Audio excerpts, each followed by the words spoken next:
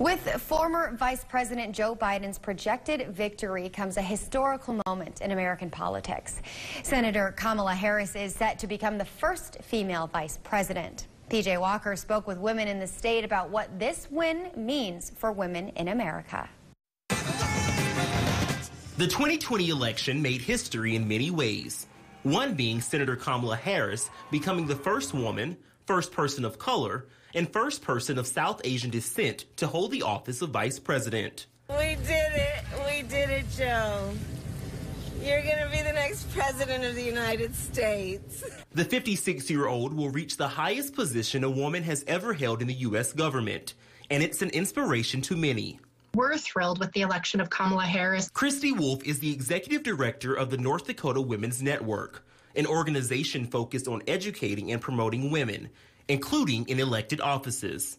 She says Harris's win was decades in the making. In 2020, we're celebrating the centennial of the ratification of the 19th Amendment, giving most women the constitutional right to vote. And now, 100 years later, Kamala Harris shatters the glass ceiling. Wolf believes Harris will change the path of leadership in the country for other women, like Shirley Chisholm, the first African American woman to be elected to the U.S. Congress in 1968. I would remind all Americans at this hour of the words of Abraham Lincoln a house divided cannot stand.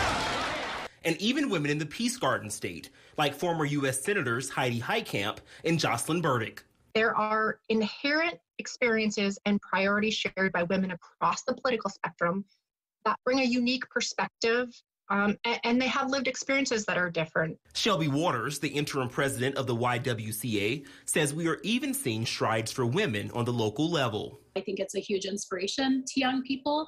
Um, but here in Minot, we're already doing incredible work. We have our first lesbian elected as the vice president of city council. So, all in all, I think uh, right here in Minot, we're already setting an excellent example for young women and girls. An example that could inspire generations to come. But while I may be the first woman in this office, I will not be the last. Because every little girl watching tonight sees that this is a country of possibilities. PJ Walker, KX News. North Dakota has never elected a woman as governor, but two women have served as lieutenant governor, Ruth Meiers in 1985 and Rosemarie Myrdal in 1993.